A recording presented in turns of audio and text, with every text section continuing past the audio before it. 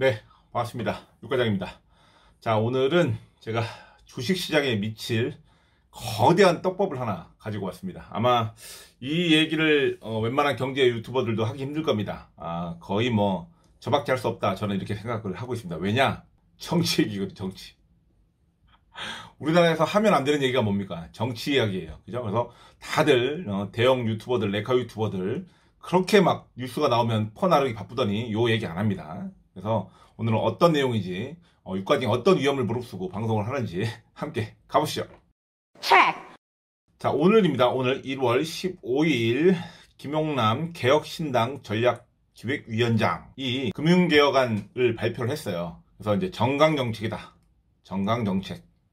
어, 당이나 어떤 정부의 주요 정책과 관련된 오늘 발표가 있었거든요. 그래서 그게 이제 주식 투자와 관련된 우리 대한민국 어떤 주식들을 조금 많이 좀 상승시킬 수 있고 그동안 소액 주주들이 바라던 사항들을 거의 대부분 담았거든요. 그래서 그 내용을 정리해서 한번 같이 한번 보도록 하겠습니다.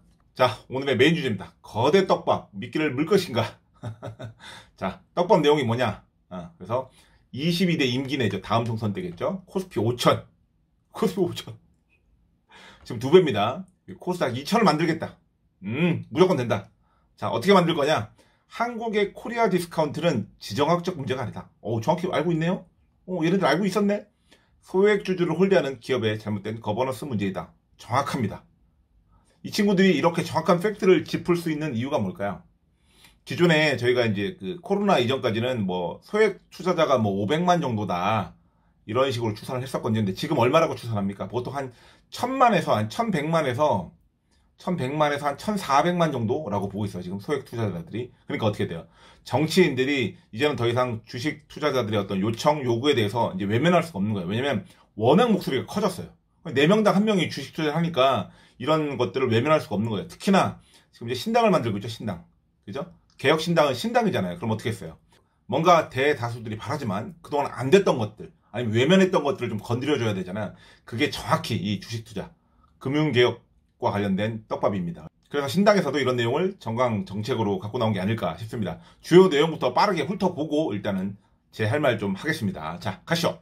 주요 개선안. 첫 번째, 상법 개정을 통하여 이사의 모든 주주의 충실 의무를 규정하겠다.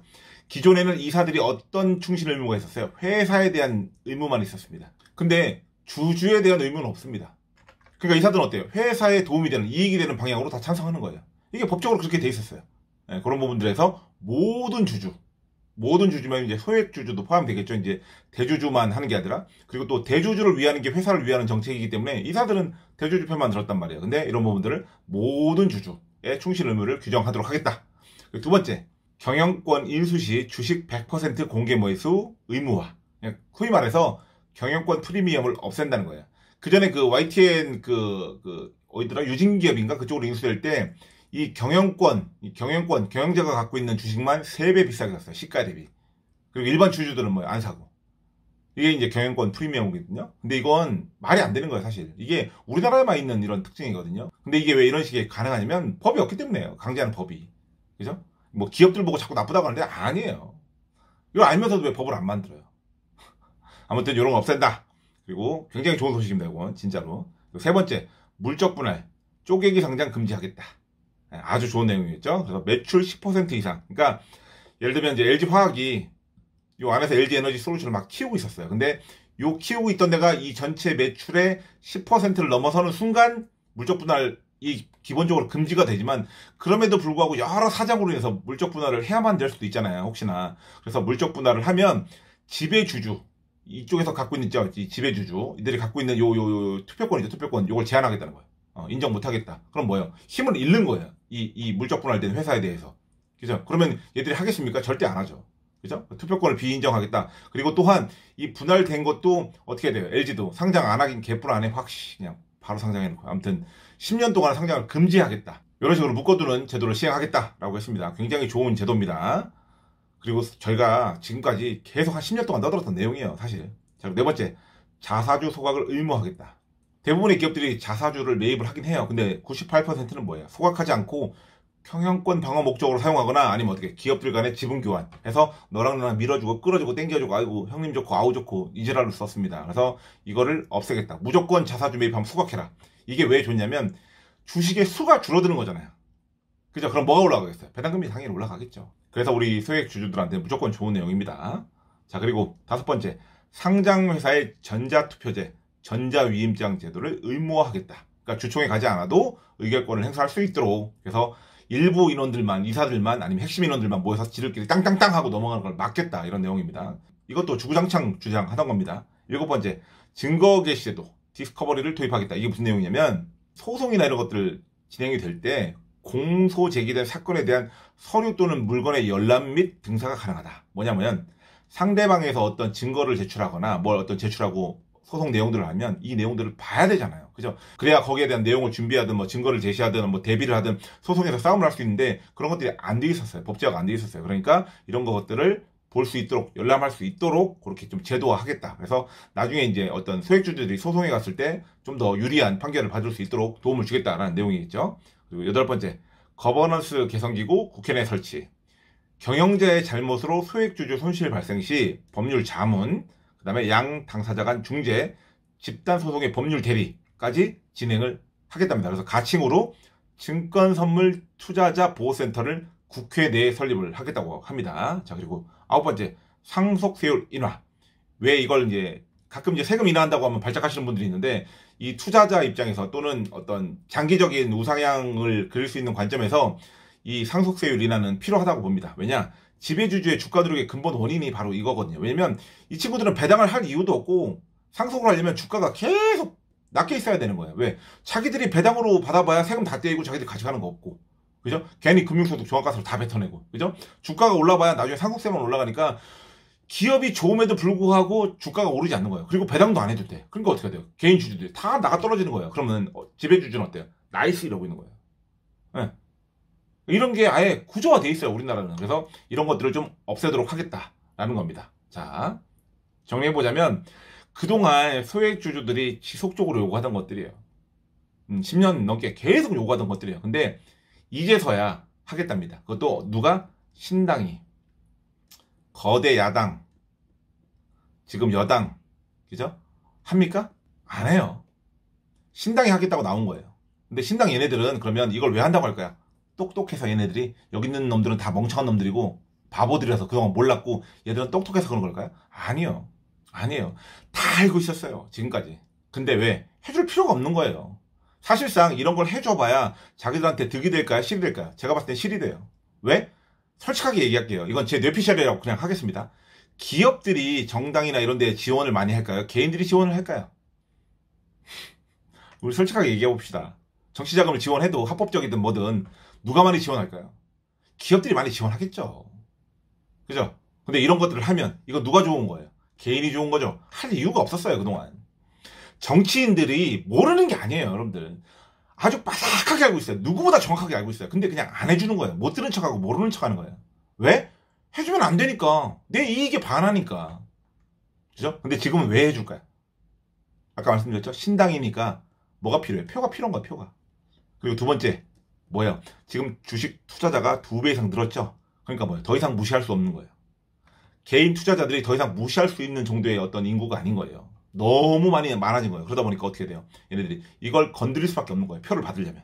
그죠? 그리고 또 더군다나 어떤 자기들이 집권을 하려면 그죠? 자기들이 야당이었다가 여당이 되려면 이걸 건드릴 수밖에 없는 거예요. 그죠? 그래서 앞으로 주식 투자자가 더 많아져야 됩니다. 여러분들. 그래서 뭐 투자를 하면 주식 투자는 뭐 도박이다 이런 분들이 계신데 아니에요.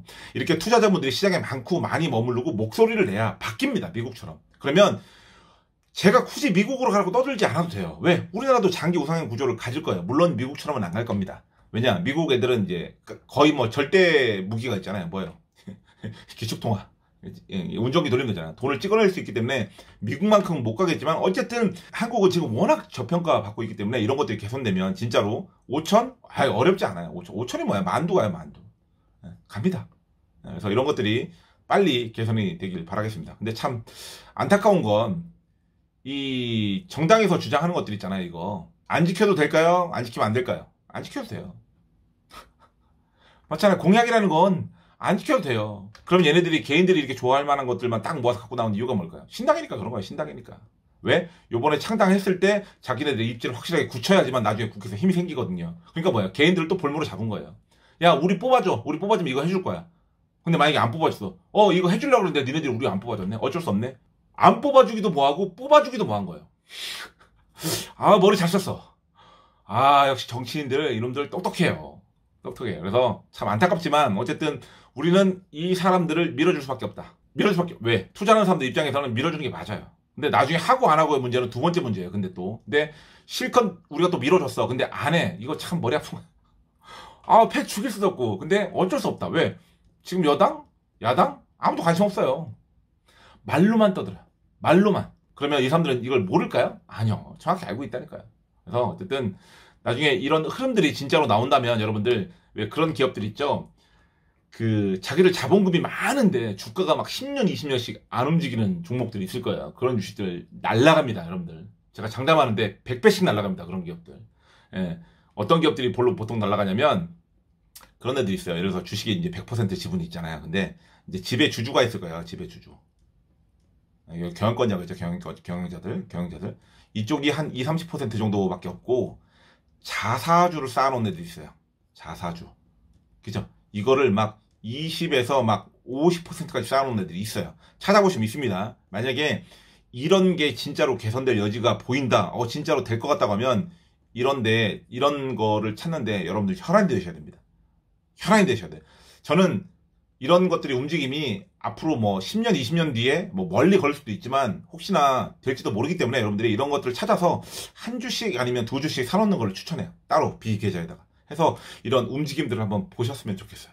아셨죠? 그래서 오늘은 정치 문제 뭐 이런 거 저는 잘 모릅니다. 하지만 저는 투자자기 때문에 오로지 우리 투자자 입장에서 어떤 게 더 이익이 될까 그리고 어떤 것들이 더 유리할까에 대해서 여러분들하고 한번 이야기를 나누고 싶어서 오늘 주요 떡밥이 있어서 여러분들하고 얘기를 나눴습니다. 왜? 다른 유튜버들이 이런 거 얘기 안 할 거기 때문에 못 할 거기 때문에 왜? 걔네들은 어, 우리를 위해서 얘기한다고 하지만 사실은 자기네 채널을 위해서 하는 거죠. 돈벌을 위해서. 그래서 이런 거 얘기 안 합니다. 잘. 왜? 잘못하면 채널이 날아가거든. 근데 유과장은 채널이 날아가도 바로 다시 파면 된다. 상관없다. 정치 공격 들어와, 들어와. 괜찮아. 괜찮아. 채널 다시 파면 돼. 아셨죠? 그래서 어, 오늘 이런 얘기를 좀 제가 뉴스를 보다가 좀 급하게 정리해서 여러분들한테 전달을 했습니다. 어쨌든 이건 투자자들한테 굉장히 좋은 소식이면 틀림없고요.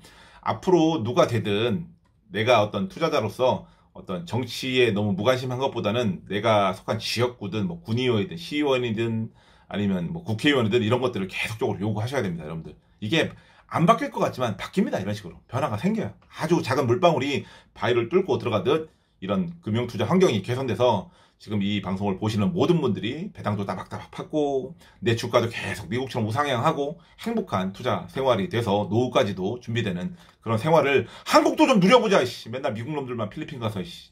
어? 휴양 즐기면서 노후 보내지 말고 한국도 좀 그렇게 되는 그런 날이 오기를 진심으로 기원하겠습니다. 육과장이었습니다.